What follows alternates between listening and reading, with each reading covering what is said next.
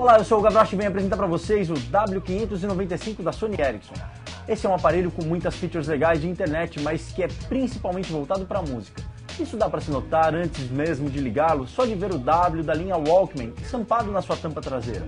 O W595 é um modelo slide, meio parecido com o W580, mas com um estilo mais simétrico. Essa simetria, aliás, é um dos pontos fortes do aparelho. Em suas duas extremidades, esse celular tem alto-falantes com som estéreo, uma coisa meio rara, mas que garante um som claro e potente.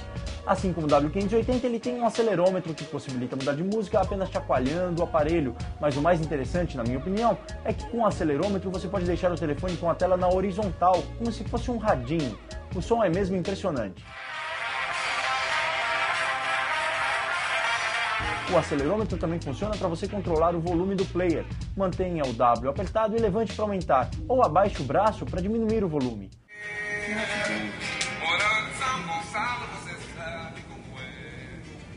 Outra coisa a se notar é que a campainha do telefone também toca pelos dois alto-falantes, o que dá para dizer que seria quase impossível você não ouvir o telefone chamando. Entre as features que utilizam o acesso a dados, os maiores destaques são o Google Maps e o YouTube. No caso do Google Maps, ele não chega a ser tão preciso quanto um GPS, mas resolve muito bem e é mais rápido do que um GPS comum para conseguir a primeira localização.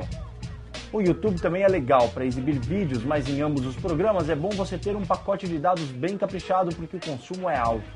Para completar, ele tem vários joguinhos da Chocolate Digital e da Gameloft, que são muito legais, além de rádio FM, contador de passos para quem curte fazer exercício e câmera de 3.2 megapixels que fotografa e filma. Além de ter foco fixo, mas a luz do dia consegue imagens bem interessantes. E eu ia esquecendo, uma coisa legal é que o fone de ouvido não é 100%, mas o conector traz não só um adaptador para fones 3,5mm, como também tem uma saída auxiliar para você dividir o som com mais alguém bateria para 9 horas de conversação e cartão M2 de 2 GB.